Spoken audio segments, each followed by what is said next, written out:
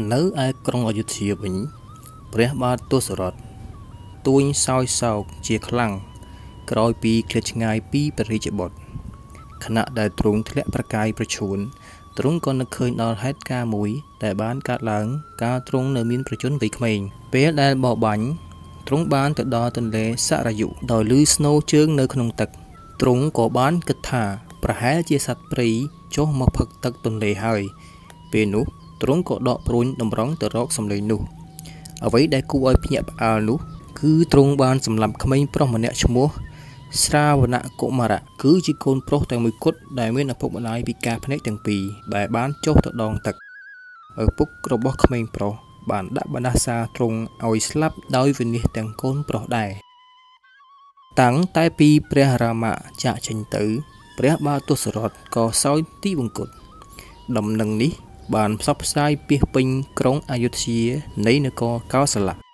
អាណាចក្រទាំងមូលក៏បានកាន់ទុកចំពោះការសោយទីបង្គត់របស់ព្រះអង្គរាជសារក៏ត្រូវថ្វាយទៅដល់ព្រះ ಭಾ រតៈដែលកំពុងនៅនគររបស់ព្រះអាយកោខាងមេដា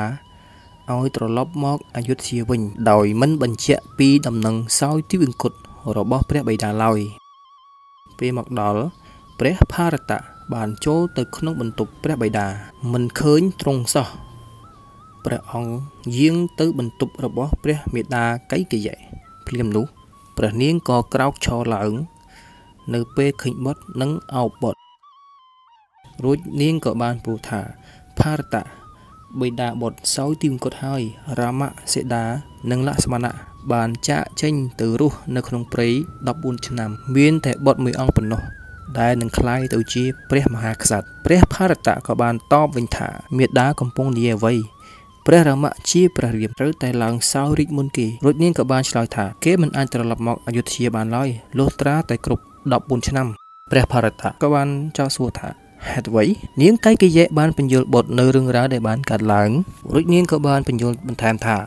មេត្តាធ្វើបែបនេះក៏ដើម្បីបុតដែររីឯព្រះផារតៈក៏បានបន្លឺឡើងថាពិតជាអាម៉ាស់ណាស់ ដែលហៅអ្នកថាជាព្រះមេដាព្រះរាមៈស្រឡាញ់និងគោរពអ្នកណាស់ចុះហេតុអ្វីបានជាធ្វើបាបទ្រង់បែបនេះខ្ញុំនឹងទៅព្រៃនឹងយកទ្រង់ត្រឡប់មកវិញខ្ញុំនឹងទៅរស់នៅក្នុងព្រៃជាមួយព្រះអង្គដែរព្រះនាងកៃកយៈស្រែកយំថាកុំពោលបែបនេះអីគ្រប់យ៉ាងដែលមេដាធ្វើគឺសឹកតែដើម្បីបុតទាំងអស់ព្រះ ഭാ រតៈបានឆ្លើយទាំងកំហឹងថាដើម្បីខ្ញុំអ្នកបានបំផ្លាញព្រះរាមដ៏ល្អរបស់ខ្ញុំឲ្យរស់នៅក្នុងព្រៃ14ឆ្នាំ ហើយនៅនិយាយថាដើម្បីខ្ញុំទៀតព្រះបិតាសោយទីបង្គត់ដោយសារតែអ្នកតើអ្នកគិតថាខ្ញុំនឹងទទួលយករាជបល្ល័ង្កឬខ្ញុំមិនចង់និយាយជាមួយអ្នកទៀតទេព្រះផារតៈបាននាំតបចេញទៅស្វែងរកព្រះរាមៈដោយមិនខ្វល់ពីព្រះនាងកៃកយៈឡើយនៅពេលស្វែងរកព្រះអង្គនៅឯអាស្រមក្បែរភ្នំចិត្តកោរួចមកព្រះផារតៈបានលុតជង្គង់និងសួរថាម៉េចក៏ព្រះអង្គដាច់ប្រតិចាក់ចេញពីនគរនិងទុកឲ្យបិតាសោយសោកយ៉ាងដូចនេះ ព្រះរាមៈក្រឡេកទៅមើលផារតៈដោយលីលំនឹងទឹកព្រះនេត្រារីឯព្រះផារតៈទម្លាក់ព្រះភ័ក្រចុះរាជបុត្រទាំង3ពិតជាសោយសោកណាស់ចំពោះបិតាបន្តិចក្រោយមក ព្រះផារតៈបាននិយាយថាទូបង្គំមកយកព្រះអង្គទៅវិញ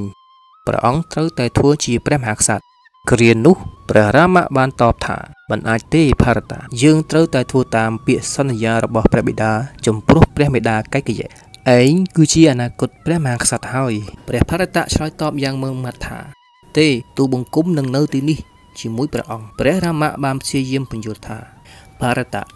កុំធ្វើដោយកូនក្មេងអីមេដាកៃកយៈបានទទួលនៅពាក្យសន្យាចំនួន2របស់ព្រះបិតារួចហើយនេះគឺជាកតាបកិច្ចរបស់យើងដែលត្រូវតែសម្រេចនៅពាក្យសច្ចៈនេះ ចូលត្រឡប់ទៅវិញចុះរួចឡើងសើរីចុះ ព្រះ ಭಾ រតៈបានប្រកែកថាទូបង្គំមិនធ្វើជាស្ដេចទេប៉ុន្តែទូបង្គំនឹងជួយសម្រេចពាក្យសច្ចៈរបស់ព្រះបិតា